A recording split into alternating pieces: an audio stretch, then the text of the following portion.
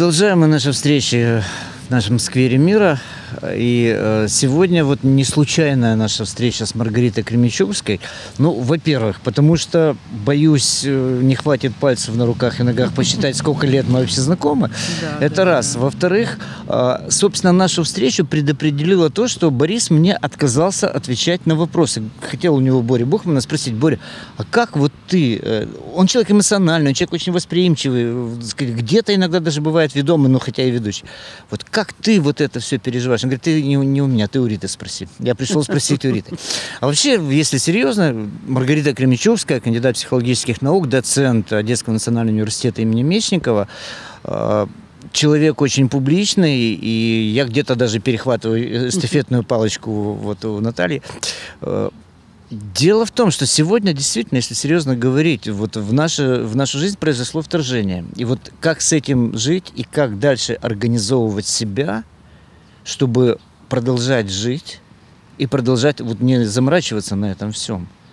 То есть нужно себе поставить какие-то определенные, наверное, задачи. Или, я не знаю вообще, вот как выходить из этой ситуации? Ну, э, с, э, как бы с моей точки зрения, как просто пересечного да, человека, и с точки зрения того, что я говорю своим студентам, э, все равно остается, как ни странно, история «надо жить» надо жить. И поскольку сейчас мы живем в ситуации неопределенности, то слова ставят задачи, ставят цели. И даже, скажем так, мой любимый и всеми Виктор Франкл, который говорит, что смыслы жизни, да, и э, если ты знаешь, зачем ты сделаешь любое как, они сейчас не так, э, ну, как бы не сейчас. Это скорее, вот если мы берем все-таки моего профессиональное, да, то мы скорее сейчас мы должны были бы посмотреть те, кто работает э, Маслоу.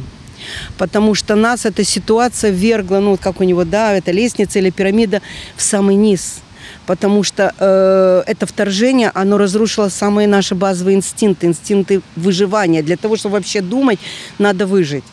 Поэтому я бы хотела сказать для, для наших любимых моих горожан, одна, э, тех, кто живет со мной в одном городе, я не буду обращаться, мы все сейчас настолько в разной ситуации, что я не могу э, говорить для всех, да, но для наших одесситов, для которых вот мирное небо осколочно было разрушено вот конкретно пару дней назад, э, наверное, не надо, может быть, не надо ставить задачи далеко вперед, а жить здесь и сейчас в каком плане?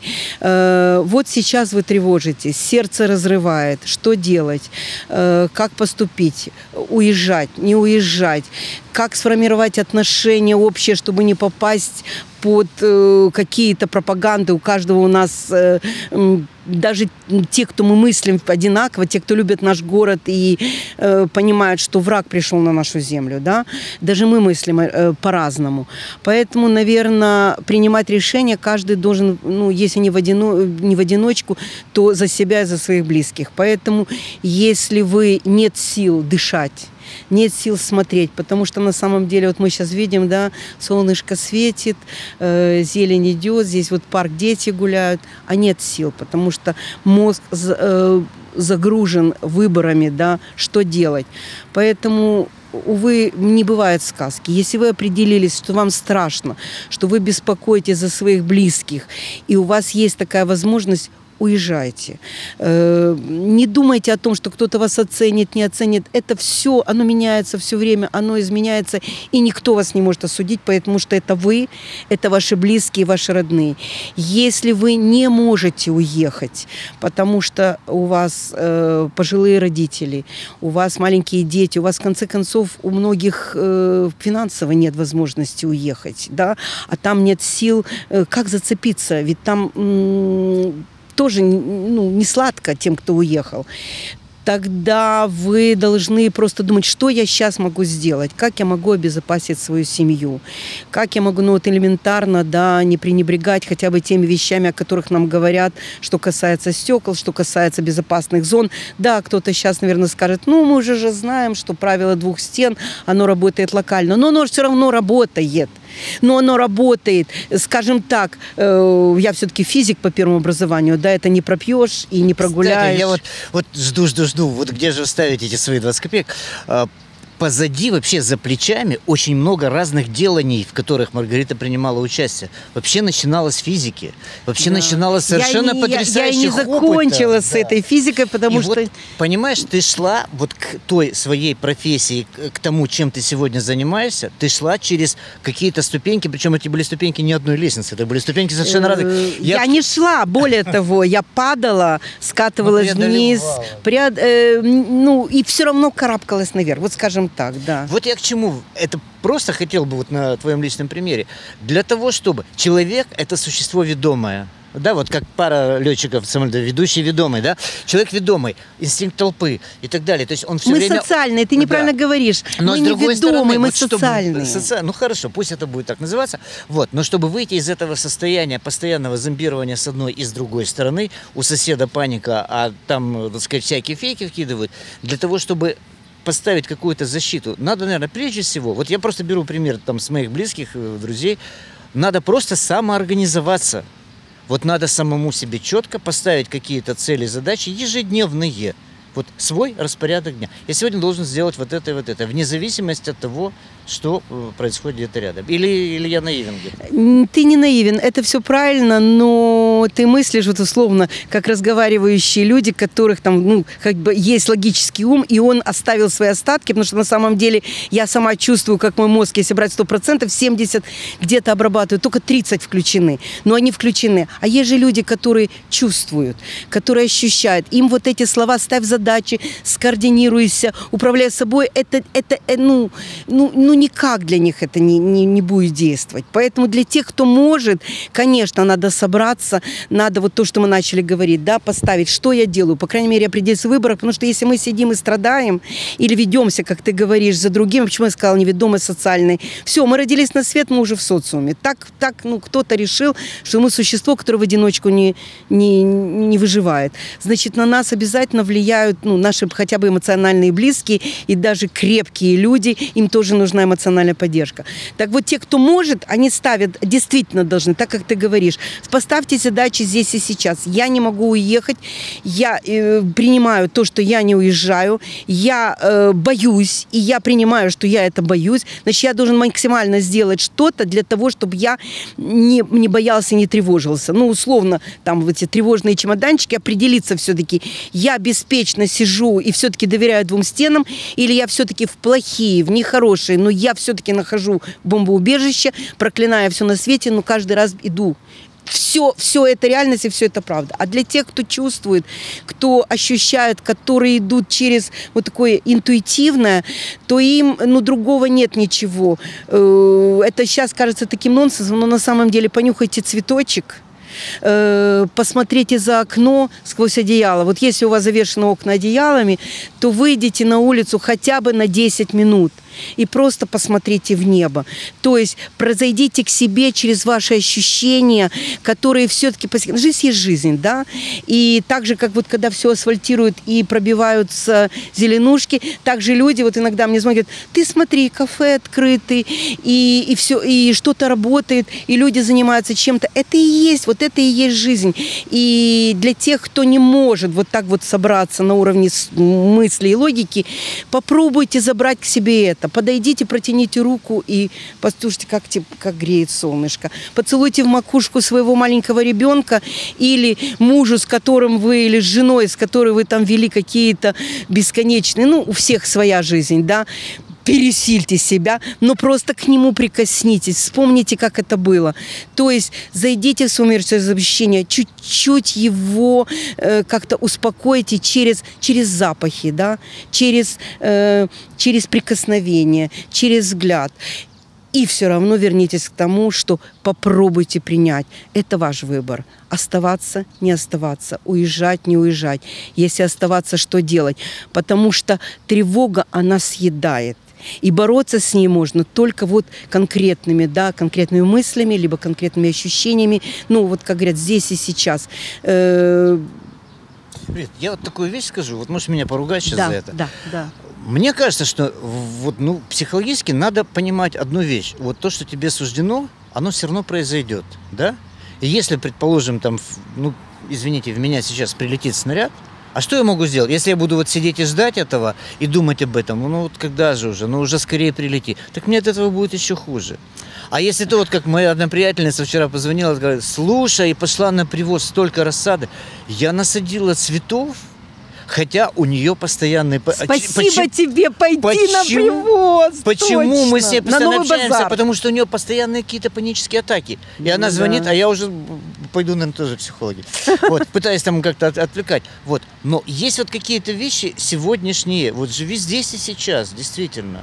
Ведь жизнь, пока тебе это отмерено, проживи ее с удовольствием, а не в какой-то панике, в какой-то яме. Ну вот я как раз сегодня на эту тему разговаривала там со своими друзьями, не как с коллегами, а просто разговаривала, и они вспоминали вот эту историю, как ты сказал, что все прописано, да, где-то уже прописано. И с Паш 80-е года самолет, если ты помнишь, э, разбился Одесса-Москва, и выжило два человека, вот один из них через год э, троллейбус качнул, он ударился. Я не очень согласна с тем, что все прописано, потому что в любой религии остается помнишь, свобода выбора. То есть дается что? Если бы не было свободы выбора, то мы бы могли все-таки сказать, ну, ну давай, ну помоги. Хотя бы, если не нам, то тем, кого ты считаешь правыми. Нет, есть, я тоже считаю, что, конечно, что-то в общем-то, пред, э, оно не предопределено, оно просто как бы прописано. Но я не согласна с тобой, что от нас ничего не зависит. И вот как раз, видишь, мы поменялись местами. Ты говорил, ставь задачи, там вот, а теперь я тебе говорю, ну, купи лотерейный билет. Вот о чем тут речь. То есть, если ты понимаешь, действительно, как бы суждено или нет, но вот это действительно как бы суждено или нет, можно же как-то, как-то, ну, по крайней мере, тот минимум, который ты можешь сделать, сделать. То есть э, сделать какие-то маленькие шаги. Вот мы говорили, обезопасить свою квартиру, да, найти там э, бомбоубежище. Если ты считаешь, что ты должен выехать, посмотреть все-таки э, не просто. Сейчас все-таки такое время, когда уже не едут. Я вот в первый, на третий день войны, у меня астероидный брат, он, э, из, из, э, он живет в Израиле, он, он был в состоянии истерики, он меня возбудил. Я в течение буквально 8 часов спаковала дочку и внуков и вытолкнула их в ближайший автобус. Они прошли все муки вот первый, первых отъездов и обнаружили, что было три рюкзачка. У каждого был рюкзак, больше ничего. В рюкзачке одного из внуков трусов, носков не было, но был PlayStation. Говорит, мама, что это? Вот. Но на самом деле сейчас такого нет. Поэтому если вы все-таки принимаете решение уехать, вы должны просто посмотреть, ну, хотя бы поискать, где что есть и как оно там может развернуться хотя бы на то время. То есть нет – нет, я не согласна с тем, что мы должны понимать, что ну уже как суждено, так суждено, поэтому расслабляемся и так вот в такой позиции идем на базар, смотрим, дышим или планируем. Нет, мы должны купить лотерейный билет.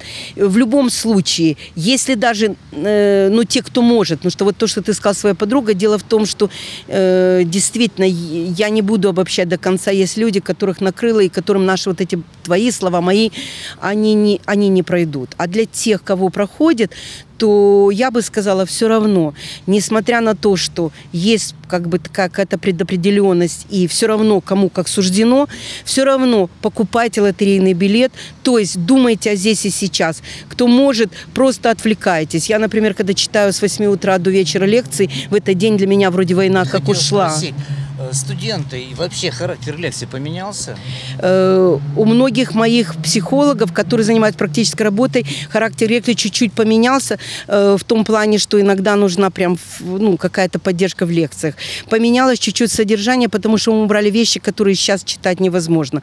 Но для меня не поменялось, потому что с первого дня войны у нас там был перерыв, но я его не делала. Моя позиция такая. Я хочу тем ребятам, а у меня разные есть, молодые совсем одиннадцатиклассники, и есть взрослые магистры, дать им вот этот кусочек мирной жизни. Это тот же привоз, тот же запах. Я читаю лекции, как я читала. Я смеюсь, шучу. Чего это мне стоит, это уже мои заботы, да. Но я им рассказываю о психологии, чуть-чуть сделав их легче, не грузя там, где надо, там совсем уже такое жесткое, да.